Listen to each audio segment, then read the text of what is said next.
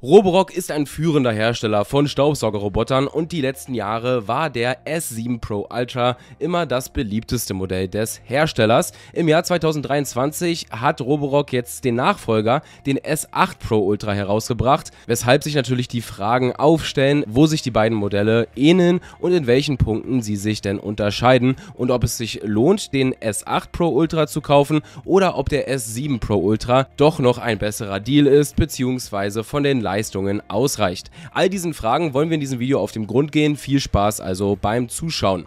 Bleibt unbedingt bis zum Schluss dran, um alle wichtigen Infos zu erfahren. Wenn ihr den S7 oder S8 Pro Ultra nochmal für euch genauer unter die Lupe nehmen oder vielleicht sogar auch bestellen wollt, schaut auch gerne mal in der Videobeschreibung. Dort haben wir euch die beiden Premium-Saugroboter nämlich auch verlinkt. Lasst uns nun aber mal mit den Gemeinsamkeiten des S7 und S8 Pro Ultras starten. Da ist zum einen die Navigationstechnologie zu erwähnen. Sowohl der S7 Pro Ultra als auch der S8 Pro Ultra nutzen die LiDAR-Navigationstechnologie. Diese Technologie ermöglicht es den Robotern, das Zuhause präzise zu kartieren und effiziente Reinigungsrouten zu erstellen. Hier kann man sogar mehrere Stockwerke kartieren und erkennen, was eine flexible Reinigung in mehrstöckigen Häusern ermöglicht. Des Weiteren haben auch beide Modelle die automatische Teppicherkennung und Mobhebung. Beide Modelle verfügen über eine automatische Teppicherkennung, die die Saugleistung automatisch erhöht, wenn ein Teppich erkannt wird. Man hat hier auch eine automatische Mobhebungsfunktion, die den Mob anhebt,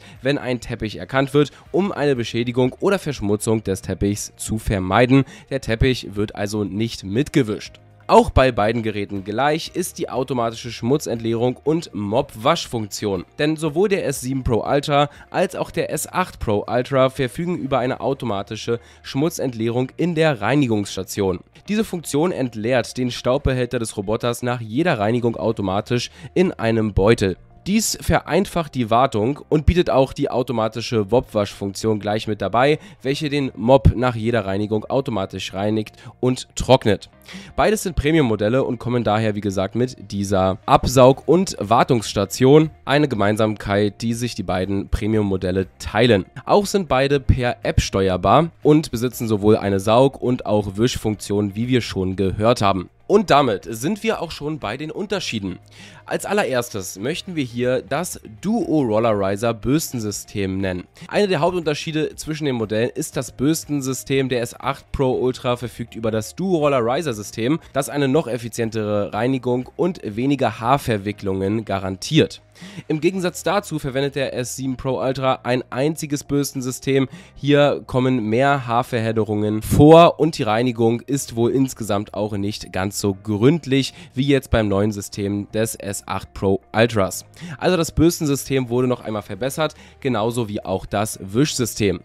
Der S8 Pro Ultra verfügt nämlich über das Vibra Rise 2.0 Wischsystem, welches eine verbesserte Wischleistung bietet. Es hat nämlich eine höhere Schwingungsfrequenz von bis zu 3000 Mal pro Minute und kann auch eine größere Fläche abbieten. Ein weiterer sehr entscheidender Unterschied ist vor allem die Saugleistung. Der S8 Pro Ultra hat eine Saugleistung von 6000 Pascal, der S7 Pro Ultra von 5100 Pascal. Damit besitzt der S8 nochmal eine leicht bessere Saugleistung und ist damit auch in der Lage, noch tiefer sitzenden Schmutz und Staub aufzusaugen. Erwähnen muss man auch das etwas größere Staubbehältervolumen des S7 Pro Ultras. Dieser liegt hier bei 0,4 Litern.